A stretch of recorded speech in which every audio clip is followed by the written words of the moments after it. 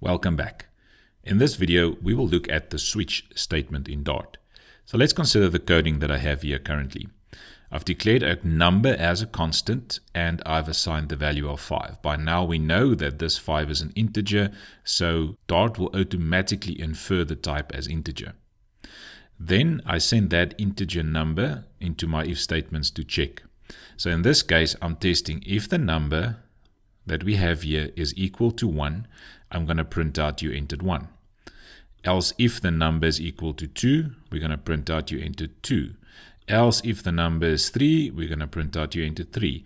And then the else means that this statement is false, that statement is false, and that statement is false. And then at the end, if everything is false, we print out you did not enter a 1, a 2, or a 3. So just remember again that if we take, if this one is true, it will only print out you entered 1 and it will skip the rest because this if this one is true, none of the rest needs to be executed.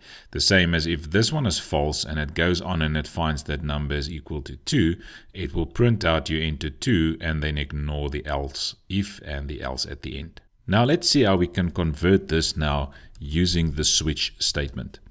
So the switch statement works as follows. It also uses your two curly braces, just like your if statement there, but you basically do all the if statements in one block of code here.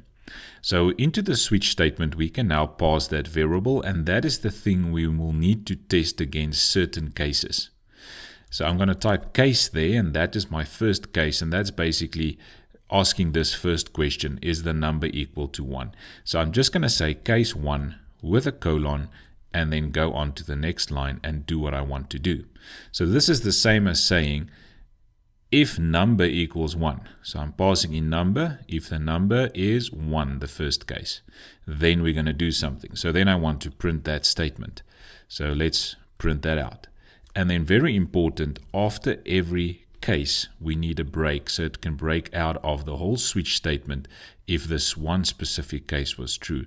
And that's basically also what happens here. If this one is true, none of this rest will execute. And that's the same functionality we get with the break statement there. So if this one is true, it breaks out of the switch, just print, or if, if the number is equal to 1, it will just print out you entered 1 and break out of the switch totally, and then carries on coding uh, from this line on. Okay, so let's add the other cases also. So the next case, case 2, so if it's a 2, then we're going to print out you enter 2. And remember your break. Then let's go to case 3. And we will print out, if it's a 3, it's going to print out you enter 3. And let's break again.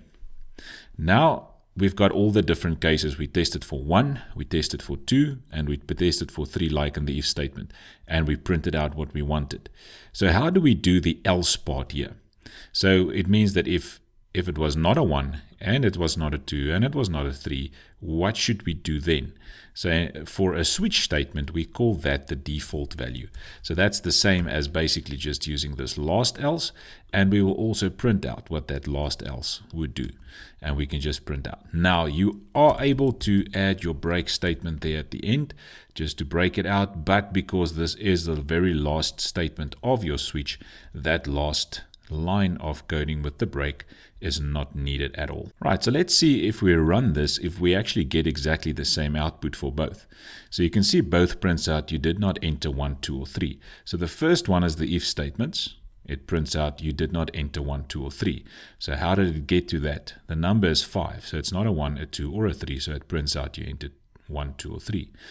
The number here is also the same value 5. It tests for a 1, it tests for a 2, it tests for a 3. None of them is true, so it will go to the default. You did not enter 1, 2, or 3. So let's say we make this one a 2, then both should tell us that we entered a 2. And if we make this one a 3, then both should tell us that we entered a 3. Now let's look at a, at a few comments that I've added now here, uh, just on a switch and some rules on a switch. So the first one there is there can be any number of case statements within the switch. So you can see there's case 1, case 2, case 3. The same as with these else if statements where we've got testing for a 1, a 2, and a 3. We can have different case statements here or different cases here, and I can add as many as I want. just like you could add as many as you want of these else if statements. The case statements can include only constants, so these are should be constant values, something that cannot change. It cannot be a variable or an expression.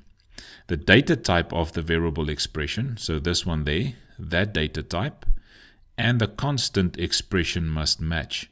So if this one is declared as an integer at the top, so um, remember Dart will automatically infer it being an integer, so it's declared as an integer at the top, then if that one is an integer, the cases that you're testing against should also be integer values.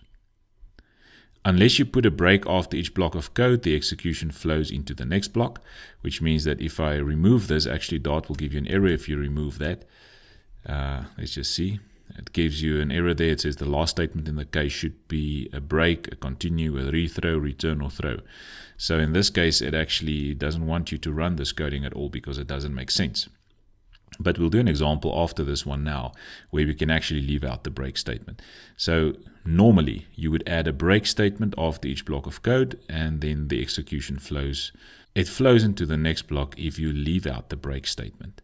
But we'll look at that example next. The case expression must be unique, which means that I'm testing for a 1 there. I cannot test for a 1 there again and a 1 there again. For example, if you take a number equals 1 and you test for number equals 1 again and you have two different values, it just doesn't make sense. So the same in your case, but these values must be unique. And then the default block is optional. You do not need to add this default block. You could have had a fourth case there instead of the default. And uh, in our case, the default worked perfectly but you don't need to have the default there, just like you do not need the else statement there as well.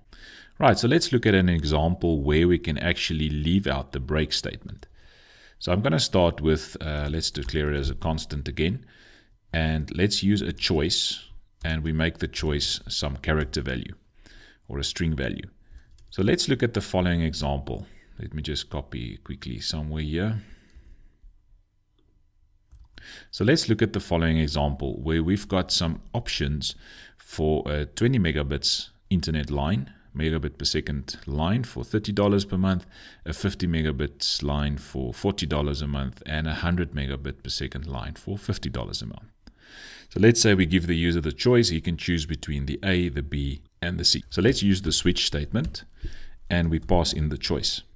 So now what we've learned from the switch statement is that if this choice is of type string like it currently is, then my cases that I test for must also be string. So in this case, I'm going to test for the A there. So that's the first case. And we can print out something like um,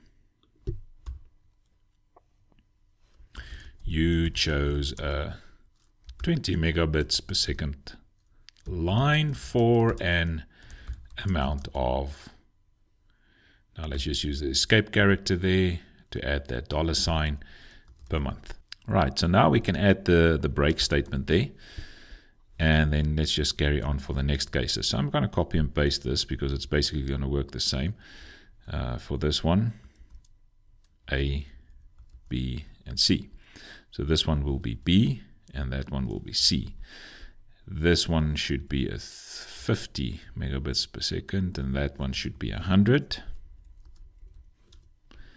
Uh, this one should be $40. That one should be $50. Right, and then we can have the default one there again. And the default one could print out something like not a valid choice. Right, so let's see how this one works. If I run it now, we will still get you entered 3 and you entered 3 there. Uh, but you'll see there that we now get, you chose a 20 megabits per second line for an amount of $30 because it's A.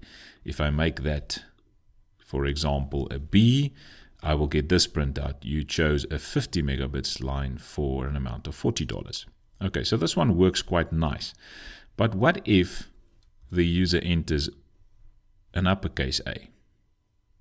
It will say not a valid choice. And that's probably not what you want there. So if he enters an A, which is lowercase, or an A, which is uppercase, then you want to still print out you chose this line.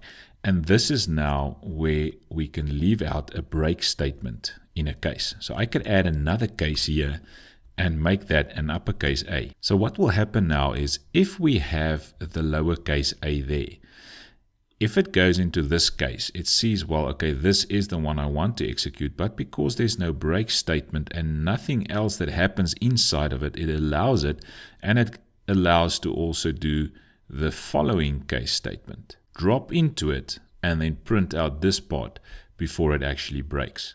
So this is a nice way of saying, let's test for both these values to print out one specific thing. So I'm going to do the exact same thing for this. So I'm going to say case capital B and then case capital C. So now whether I enter A uppercase or lowercase, B uppercase or lowercase, and C uppercase or lowercase, this will still work. So this is a perfect example of how you can use the cases without a break in between. So for this case, there's no break, but for the next one, there is a break. Okay, so we entered a lowercase a, and it said you chose a 20 megabits line. So let's make that an uppercase a. You chose a 20 megabits line. So you can see what happened now with the lowercase a. It went into this case, it saw it's true. It went into this case also because there's no break and it will run and do everything until it finds the next break statement and then it's it's out of the switch again. So this works quite fine. Let's just do another one. Let's just do C quickly. C, you chose 100 megabits line. And let's have an uppercase C, should give us the same output. Right, and that is it for the switch statement. So the switch statement is very similar to your if-else if structure where your last else at the end is your default value that is optional. So you can go through uh, this video again to make sure that you understand the switch statement. I uh, hope you've enjoyed this video. See you in the next one.